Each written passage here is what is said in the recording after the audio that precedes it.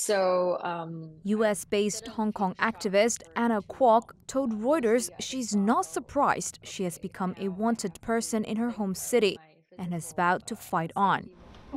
Hong Kong police on Monday issued arrest warrants for Kwok and seven other overseas based Hong Kong activists, accusing them of national security offences, including foreign collusion and incitement to secession. Rewards of more than $120,000 have been offered for information leading to each possible arrest. I've expected that they would manage to do whatever uh, uh, ways there are to silence us. The first campaign that we have been waging, which I think perhaps would be the reason I'm also on the list as well, is the Bar campaign, which is essentially the campaign to ask the US government and President Biden to not let uh, John Lee enter the United States because first, he is a sanctioned individual, and second, he's a human rights abuser who can pose a lot of harm and damage to people who are in the US, for example, myself, because he's the person who has put that bounty on my head.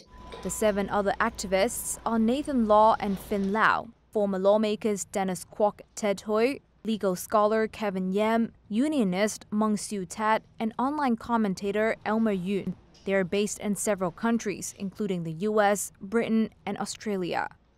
Hong Kong Chief Executive John Lee on Tuesday said the aid will be pursued for life.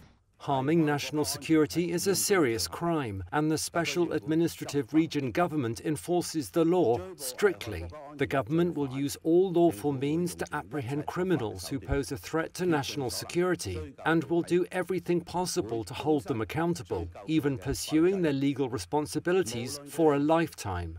Regardless of how far they may flee, we will pursue these criminals for their entire lives. Council. Kwok, who leads the Hong Kong Democracy Council in the U.S., says she will not back down from her fight for democracy.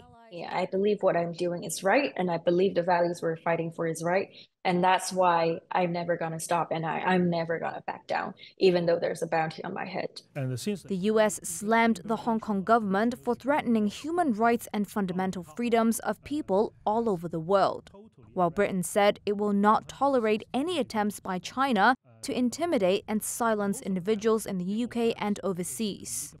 China's foreign ministry hit back at those criticisms, accusing them of slandering the national security law which Beijing imposed on Hong Kong in 2020. Chinese and Hong Kong authorities say the law has restored the stability necessary for preserving Hong Kong's economic success.